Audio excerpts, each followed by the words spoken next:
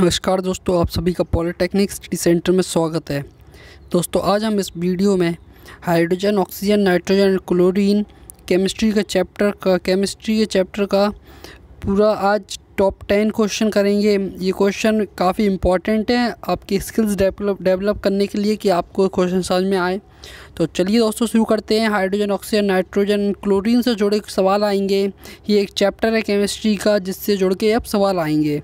तो ये इंपॉर्टेंट सवाल रहते हैं। दोस्तों, अगर हम आपको हाइड्रोजन ऑक्सीजन और नाइट्रोजन क्लोरीन पढ़ाएँ सेपरेटली तो काफ़ी लंबी वीडियोस आएँगी अगर आप इनके करियर पचास से साठ क्वेश्चन है जो आप याद कर लें या समझ में आ जाएँ तो काफ़ी अच्छा रहेगा। आपको ज़्यादा नहीं पढ़ना पड़ेगा। तो चलिए दोस्तों, शुरू करते हैं। वीडियो तक, आखिरी तक बने रहिएगा। आपको पूरा समझ में आएगा किस प्रकार से क्वेश्चन सॉल्व करने हैं। तो हमारा पहला क्वेश्चन है the radioactive isotope of hydrogen is तो हमसे पूछा गया है तो कि radioactive isotope of hydrogen क्या होता है? मतलब हाइड्रोजन का रेडियो एक्टिव आइसोटोप कौन सा है? तो आपको पता है हाइड्रोजन के आपके आइसोटोप्स होते हैं ड्यूटेरियम और ट्राइटेरियम।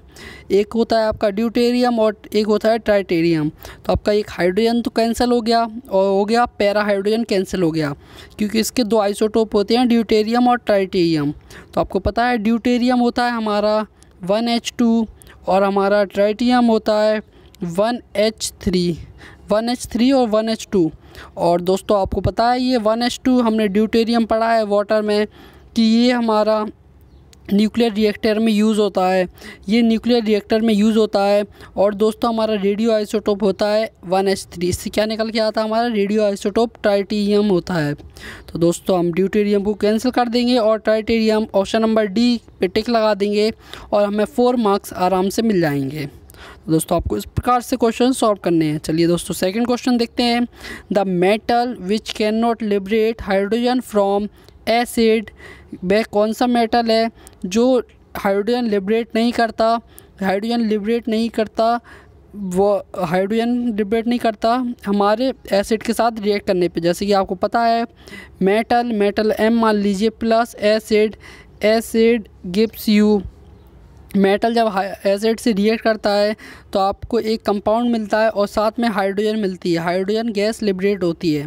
पर दोस्तों, जो हमारे जो हमारे वो इनर्ट इनर्ट मेटल होते हैं, जो रिएक्ट नहीं करते, वह हाइड्रोजन लिबरेट नहीं करते मेटल के साथ रिएक्ट ही नहीं करेंगे। एसिड के साथ रिएक्ट ही नहीं करेंगे वह मेटल तो आप पता है प्लेटिन प्लेटिनियम एक इनर्ट मेटल है। सिल्वर भी आपको पता है, किसी साथ रिएक्ट नहीं करता इनर्ट मेटल है, और साथ ही गोल्ड भी एक इनर्ट मेटल है। तो ये तीनों जब रिएक्ट नहीं करते किसी एसिड के साथ तो वे हाइड्रोजन लिबरेट नहीं करेंगे। तो इसका option number all of these सही हो जाएगा, क्योंकि ऑल ऑफ़ दीज पे ही लगाएँगे, और चार मार्क्स डी ऑप्शन को चुनते ही हमारे फोर मार्क्स आसानी से आ जाएँगे। आते हैं तीसरे क्वेश्चन पे। हमारा तीसरा क्वेश्चन कहता है the hydrogen from H C L can be prepared from the hydrogen hydrogen from H C L can be prepared from S hydrogen prepare करना है हमें एच सी एल से तो किस प्रकार से कर सकते हैं? तो दोस्तों, हम कर सकते हैं ये। हम हाइड्रोजन प्रिपेयर करना है तो हम जानते हैं कि metal plus acid metal plus acid gives you gives you एक कंपाउंड प्लस हाइड्रोजन तो आपको पता है मेटल यहाँ पे कौन कौन सा हो सकता है? आपका एक मेटल तो आप एक मेटल में आप मान लीजिए कॉपर भी फोस्फोरस मैग्नीशियम और मरकरी आपकी ये सब हो सकते हैं। पर दोस्तों, आप देख सकते हैं एक मैग्नीशियम अब मैग्नीशियम एम जब रिएक्ट करेगा आपका एच के साथ तो हमें क्या मिलेगा? M G C L M G C L two यहाँ पर इसे वो कर देते हैं हम। बैलेंस कर देते हैं तो टू एस सी एल कर देते हैं तो हमें H M G C L two M G की हमारे वैलेंस, वैलेंसी या आप ऑक्सीडेशन पावर प्लस टू होती है तो आप M G C L two plus H two H two liberate हो जाएगी। तो आप देख सकते हैं कि ये मैग्नीशियम के साथ रिएक्ट करने पे हमें हाइड्रोजन लिबरेट कर देगा। ये हमें हाइड्रोजन लिबरेट कर देगा। तो दोस्तों, हमारा ऑप्शन नंबर सी मैग्नीशियम सही हो जाएगा, क्योंकि कॉपर भी रिएक्ट करेगा या फॉस्फोरस या मरकरी तब हमें हाइड्रोजन लिबरेट नहीं मिलेगा। तो हमारा ऑप्शन नंबर सी सही हो जाएगा मैग्नीशियम और फोर मार्क्स आसानी से मिल जाएँगे। फोर्थ है in wash process hydrogen is obtained from in wash process hydrogen is obtained from तो इन वॉश प्रोसेस का नाम देकर पूछा है कि हमारी हाइड्रोजन कैसे ऑप्टेन होती है। तो हमारी हाइड्रोजन ऑप्टेन होती है, आपको वॉश प्रोसेस के बारे में बता दें, ये वाटर गैस से होती है। ये हमारी हाइड्रोजन वाटर गैस से प्राप्त होती है। तो ऑप्शन नंबर सी सही लगा देंगे और हमें फोर मार्क्स मिल जाएगा। आते हैं। फिफ्थ क्वेश्चन पे, hydrogen was discovered by? Hydrogen was discovered by तो आपको बताना है कि हाइड्रोजन किसने डिस्कवर की थी। तो आपको पता ही होगा, प्रोटॉन, न्यूट्रॉन और इलेक्ट्रॉन किसने डिस्कवर की तो साथ साथ आप हाइड्रोजन का भी डिस्कवरी का भी याद कर ले कि इसे लेवोसियर ने डिस्कवर नहीं किया, डाल्टन ने डिस्कवर नहीं किया, न्यूटन ने डिस्कवर नहीं किया। इसे कैवेंडिश कैवेंडिश ने डिस्कवर किया था हाइड्रोजन को। तो ऑप्शन नंबर बी लगा देंगे और फोर मार्क्स मिल जाएँगे। आते हैं सिक्स क्वेश्चन पे। सिक्स क्वेश्चन कहता है नेसेंट हाइड्रोजन कंसिस्ट ऑफ़ हमारी जो नेसेंट हाइड्रोजन रहती है वो क्या कंसिस्ट कर रहती है? तो पहला ऑप्शन है nascent hydrogen atom with excess energy hydrogen atom फिर वो कई सारी एनर्जी के साथ एक्सेस ऑफ़ एनर्जी के साथ रहता है। Hydrogen ion in excited state excited state में रहता है या hydrogen molecule with excess of energy रहता है या सॉल्वेंट प्रोटोन रहता है। दोस्तों, आपको बता दें जो नेसेंट हाइड्रोजन रहता है, वो एक्सेस ऑफ़ एनर्जी रहता है। विथ एक्सेस ऑफ़ एनर्जी उसके पास एनर्जी काफ़ी मात्रा में होती है। तो option number A hydrogen atom with excess of energy हमारा हो जाएगा। हाइड्रोजन एटम विथ ये एटम पाया जाता है। जो नेसेंट हाइड्रोजन रहता है, वह एक अकेला एच होता है।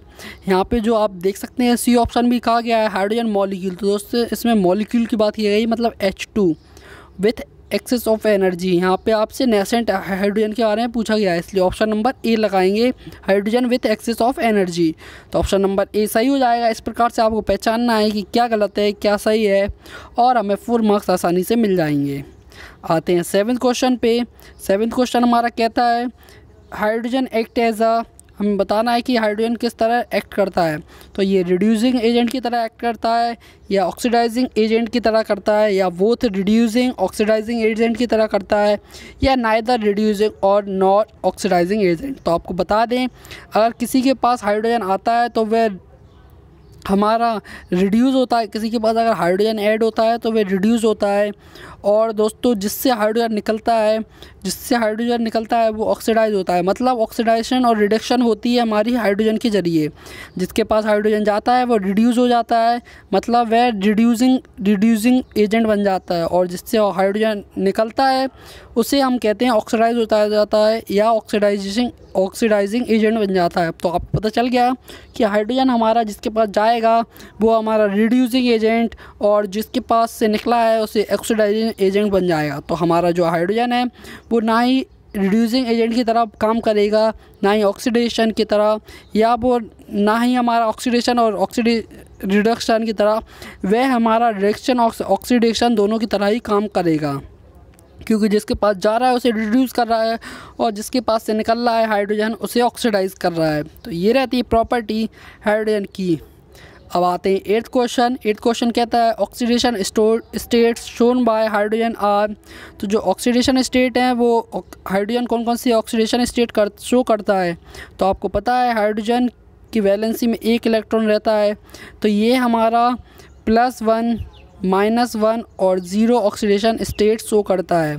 ये हमारा प्लस वन माइनस वन और ज़ीरो ऑक्सीडेशन स्टेट शो करता है। तो ऑप्शन नंबर सी सही हो जाएगा। Plus one minus one zero हमारा ऑक्सीडेशन स्टेट शो करेगा।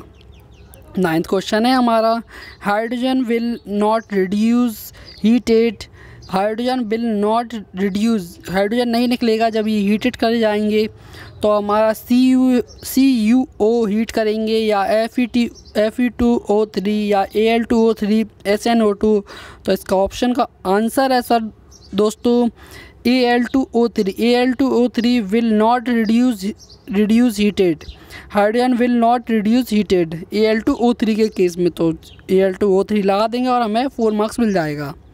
टेंथ क्वेश्चन है the property of hydrogen which distinguish it from other alkali metal is दोस्तों वह प्रॉपर्टी बतानी है जो हमारे हाइड्रोजन को अलग करती है उसी ग्रुप के एल्कलाई मेटल से। तो ये हमारी इट्स रिड्यूसिंग कैरेक्टर या इट्स इलेक्ट्रो पॉजिटिव कैरेक्टर या एफिनिटी फॉर नॉन मेटल या इट्स नॉन मेटेलिक कैरेक्टर तो दोस्तों, आपको पता होगा जो एल्कलाई मेटल्स होते हैं, वो सारे हमारे जो हमारे सारे मेटलिक होते हैं। मेटलिक एल्कलाई मेटल्स होते हैं। दोस्तों एल्कलाई मेटल मेटल ही लिखा हुआ है। पर दोस्तों, जो हमारा हाइड्रोजन होता है, वो नॉन मेटेलिक होता है।